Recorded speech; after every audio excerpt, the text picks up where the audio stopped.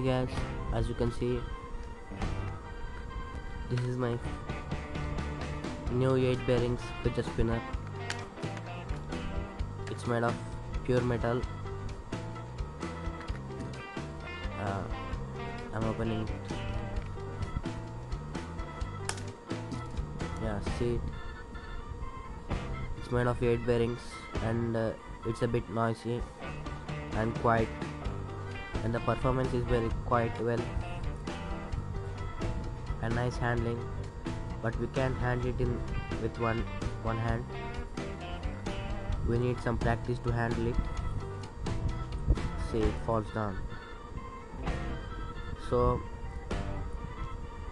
you can get this fidget spinner on Amazon and Paytm and uh, any markets as you know it's a 8 bearings with the spinner it costs up to 800 rupees. And it's made of pure metal. I think it's made of steel. It consists of 8 bearings and all the bearings are also made up of metal. Performs very well.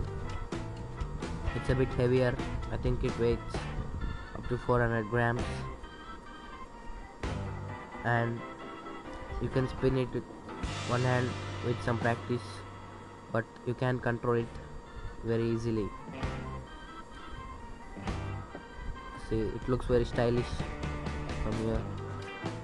And its performance is so good. I can appreciate it. So thank you guys for watching this video.